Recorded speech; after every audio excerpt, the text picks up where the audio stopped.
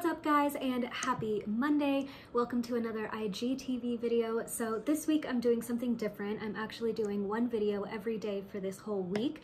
And I, the reason that I'm doing this is because I'm launching something really exciting at the end of this week and I want to tell you guys more about it and um, just kind of get you involved in where I've been. Um, I've been kind of like here and there, like a little absent from time to time, and it's because I've been working on this project that I am so, so excited for. So it actually involves tarot, and I wanted to talk about this first a little bit because you may be wondering like, where did this come from? Like, I don't really know her for tarot. She doesn't really do tarot or talk about it much on her Instagram, and some of you who follow me might not really be familiar with tarot as well. So I actually wanted to talk to you a little bit about that. Um, so I've actually been using tarot and actually working with this same deck for the last couple of years. Um, so it's been in my vlogs here and there, but I haven't really shared it much in relation to my work and in relation to everything that I do, but that is actually what I've been kind of working on and crafting. And so why I'm here on IGTV is actually to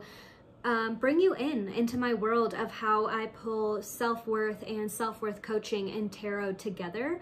And um, this week I just wanted to do a daily card pull for you guys and just kind of get you motivated, get you thinking about a particular message um, for the day. I've already cleansed this deck so it's ready for a collective pull. And really I've just kind of, I'm just kind of asking the deck and asking all of our collective angels and guides what message we need to hear today about about self-worth. You know, what does the collective need to know and what, ooh, this card actually, these two cards just flew out. So I might, ooh, it's three cards. Okay, three cards just flew out. I was gonna do this as a one card pull, but if these cards wanna be heard, we will give them the space to be heard.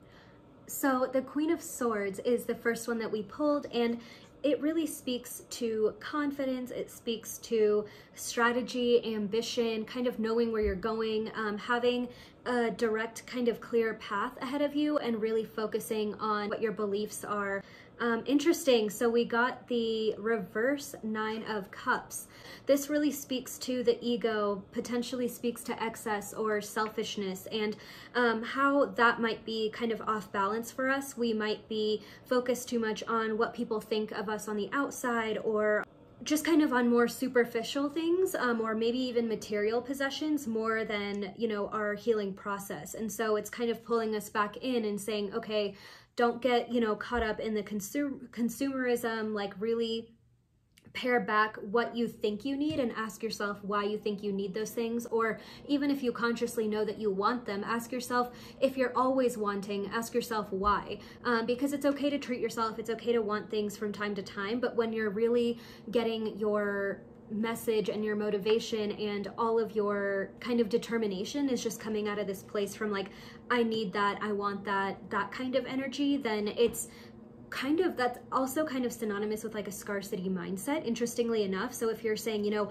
i want this x y and z or i want people to think of me this way like you're constantly focusing on what you don't have what you could have how things could be better. And so behind all of those thoughts you're kind of saying well things aren't good enough right now. Things aren't good enough as they are. And so i constantly need to be on the search for something better. And you can have goals and also appreciate where you are in the current in your current stage, in your current process. You know what I mean?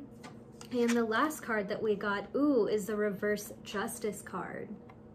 And this card is really interesting because it's a major arcana card and we're also seeing it in reverse. So we're seeing kind of things being off balance. We need we have kind of like a collective pull to justice. There's a lot of things going on. I mean, obviously it's election year. We're gearing right up to it. Like there's so much happening with the virus, with the pandemic, with the economy. Things are just all over the place. And so it's kind of saying that there's this restorative balance that needs to be done. And actually now seeing this all together, this Queen of Swords is also a really interesting um, card because it's kind of the only, first of all, it's the only upright card and it's kind of pushing us to use our strategy, to use our intelligence, to use our ability to mobilize, to use our ability to vote, to use our ability to kind of speak up for wherever we are, to use what we consciously know is right and wrong, to kind of amend these things. So it's almost saying like on a personal level, we all have kind of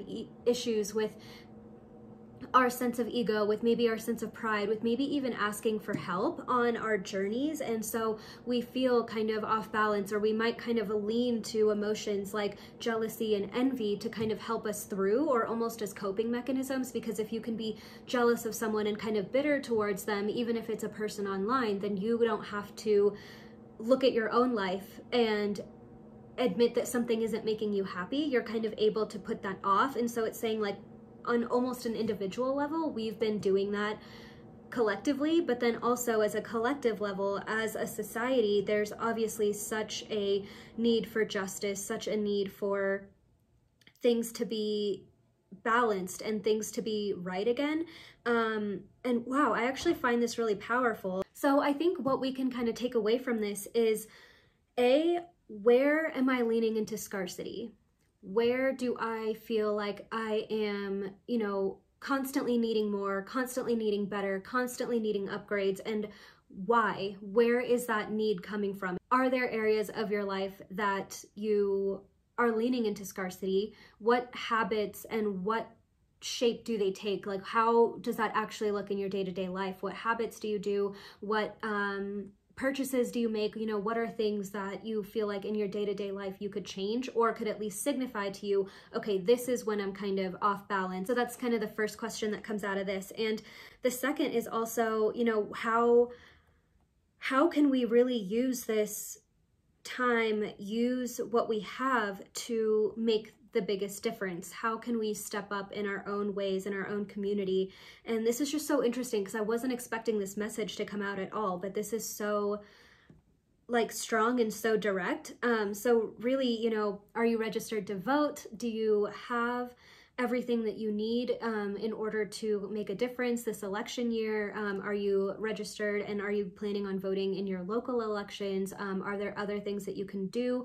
Are there candidates or nonprofits or things like that that you can give your um, finances to? How can you step up and what does stepping up look like for you? And um, I know we all are registering to vote. That's super important, especially if you haven't already. But if you have, then also ask yourself, you know, what more can I do? Like, yes, that's the bare minimum. Yes, you're going to vote. Yes, you're going to stay informed. But what else can you do in your area, in your local community? Um, so, wow, that was a really powerful and unexpected message, like I said. Um, but those are the messages, I guess, that I have to give to you today. So definitely leave a comment below if you have any other thoughts or questions or even an additional interpretation to add to this. Um, I'm so excited to hear from you and I'll see you guys tomorrow.